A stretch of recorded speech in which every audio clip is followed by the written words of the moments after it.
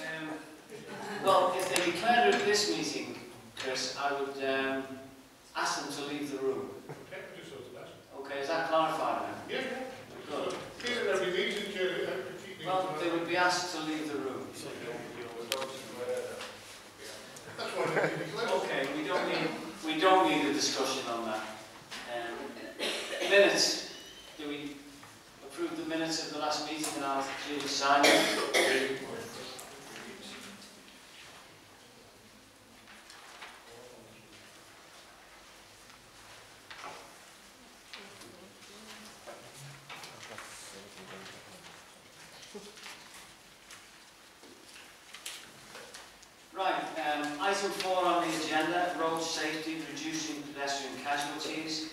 Um, I'd like to invite Dave Rees, who's the road safety manager, to come up and present his report.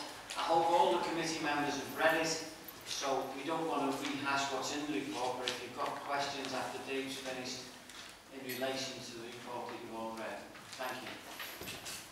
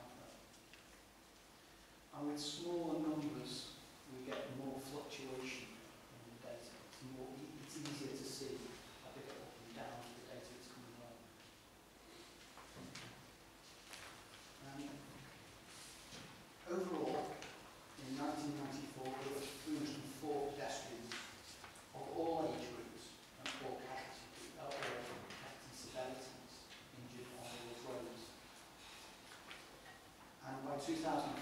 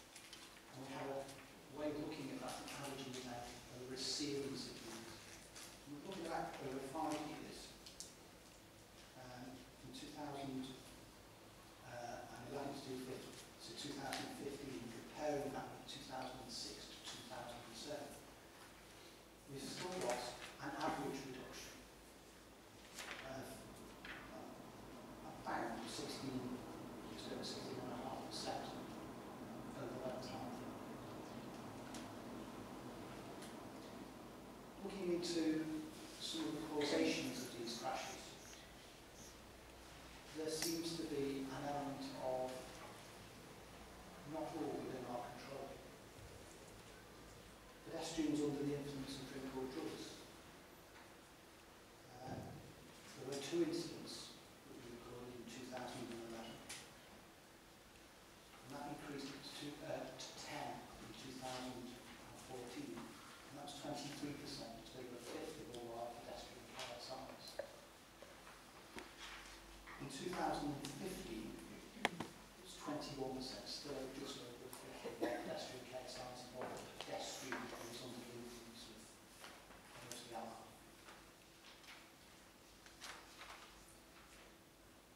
There is, over the last five years, an overall continuing decrease in the number of children killed or seriously injured on our roads, which is good news. We did note in our analysis, somewhat unusually as I commented in the report, there were six children who were under four years old who were injured. They were under supervision of an adult.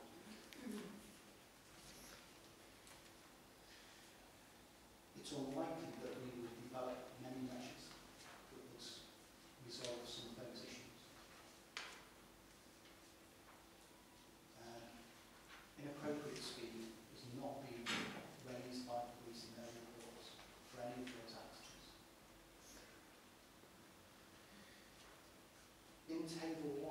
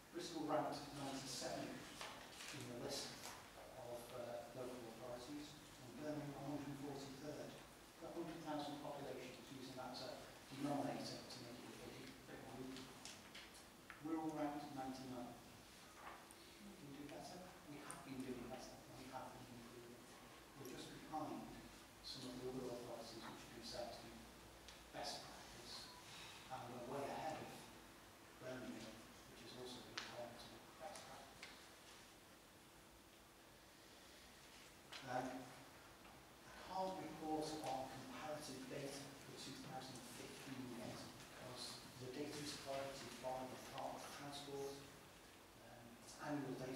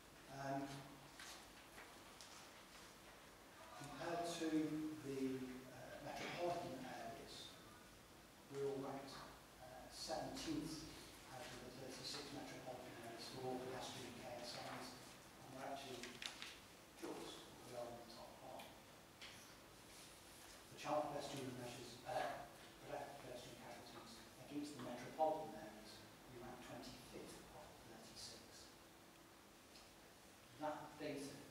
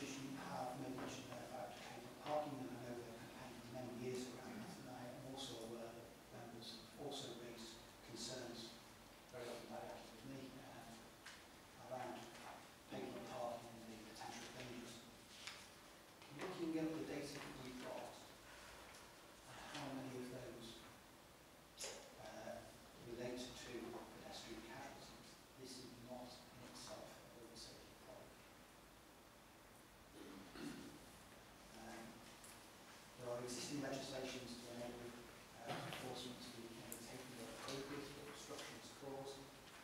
Um, but our pedest- our pedestrian KSI condition data shows that pavement parking is not a significant cause of pedestrian KSI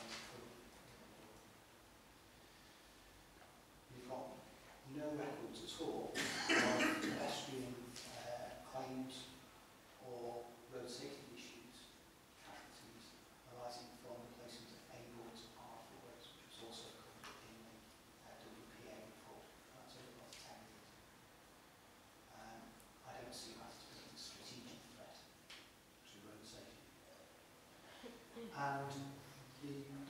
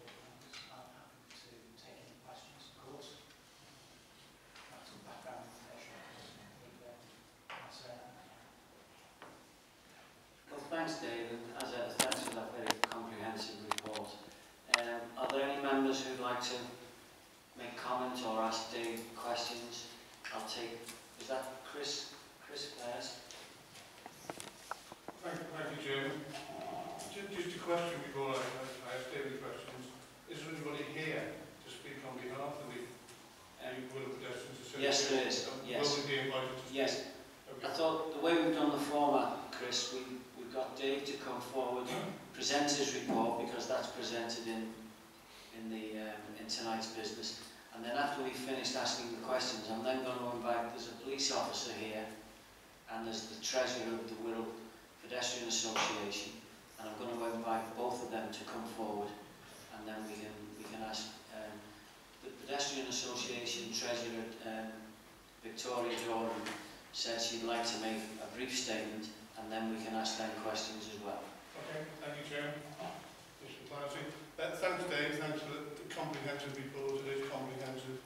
Uh, however, as with all these things, there does seem to be some, I'm not going to say discrepancies, because discrepancies are wrong word, uh, some questions and challenges. And one of the first thing I, I have to ask is, you, know, you, you said yourself that, you know, when you get information about an area that's potentially dangerous, that's where the, the, the funding will go.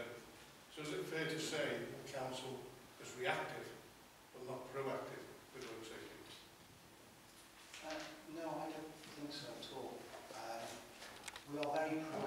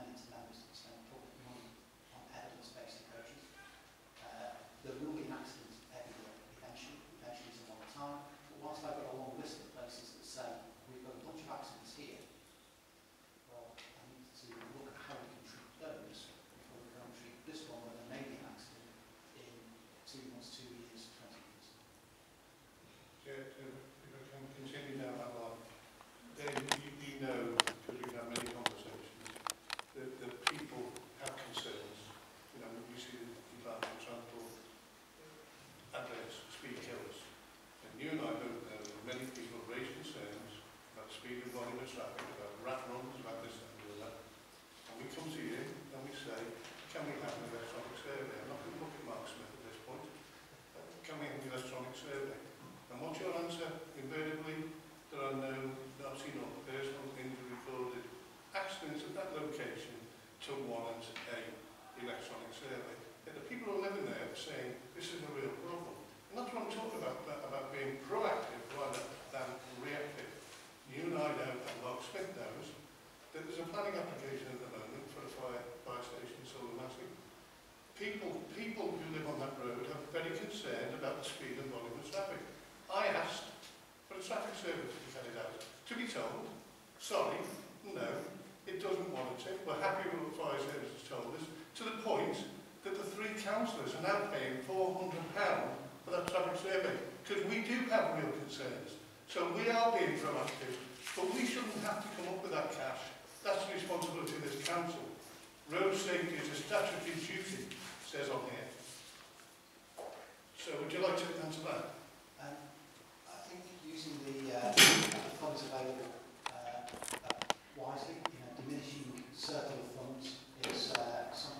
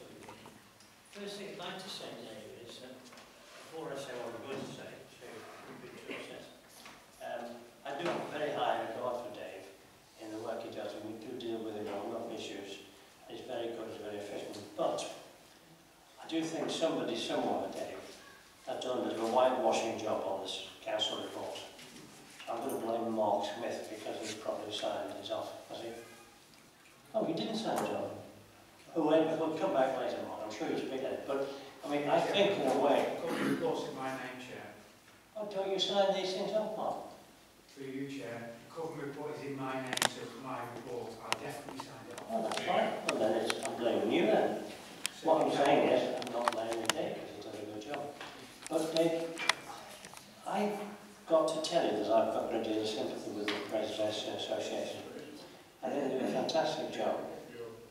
A bit, bit overzealous at times, but generally good.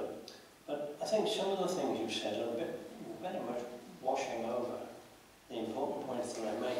And there's a couple of things in your report.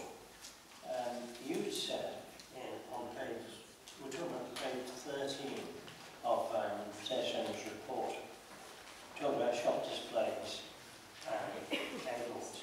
And you said we have nobody complaining about animals in, in British recently.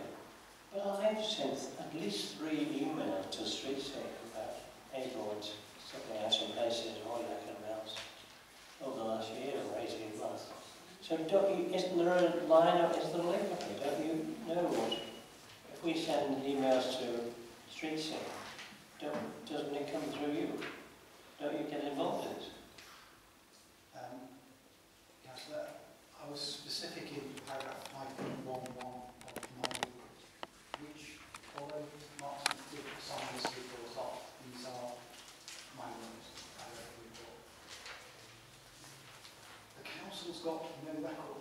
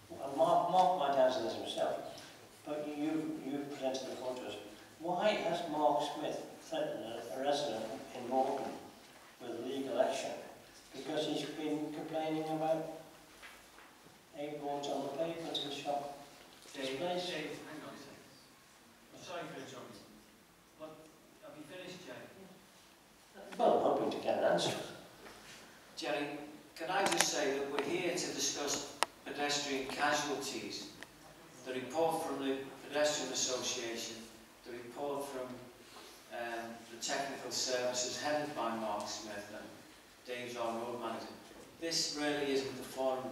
Dave's already said that there's no recorded accidents or deaths as a result of A-boards on, on pavements.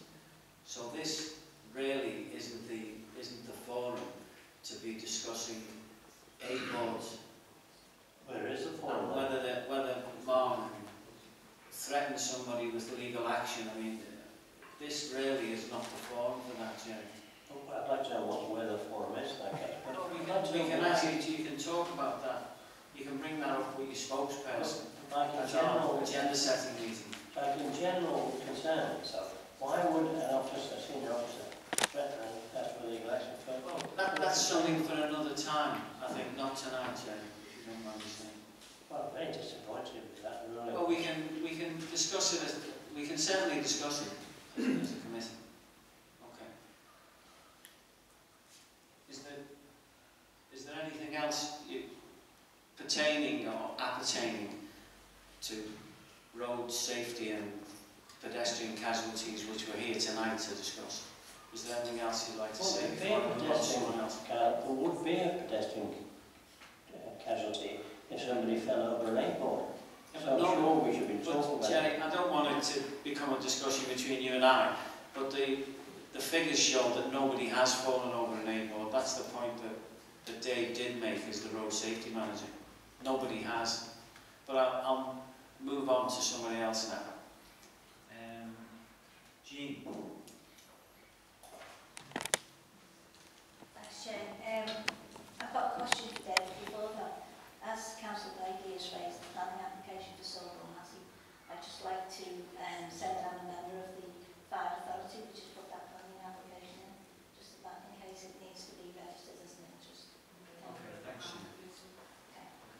Um, my question, well, it's an observation really, Dave. Thanks very much for your uh, really comprehensive report.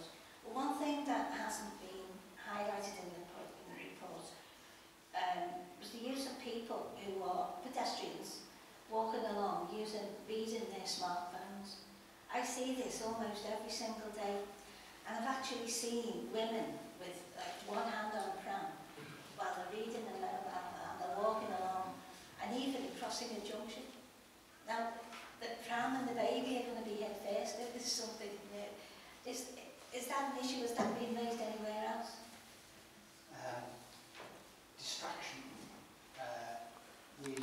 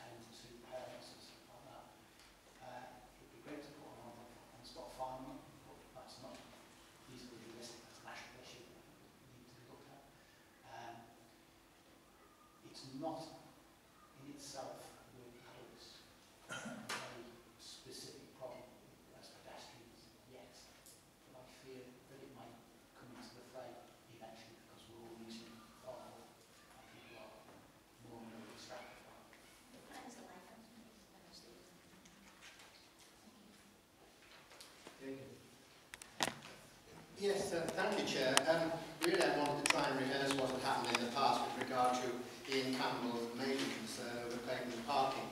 As you probably know, Mark, because a few people in this room have been involved in that for, for many years, and in fact, I think I ought to get some commission for this, because one of the photographs actually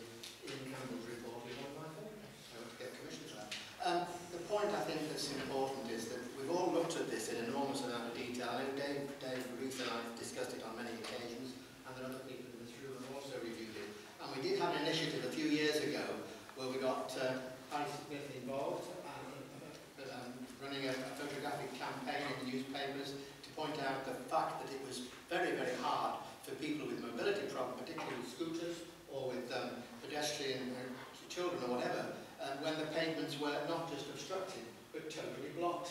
Now, as some of you will know, I have an electric mobility scooter, which I don't use full time. I can manage to walk with a stick occasionally.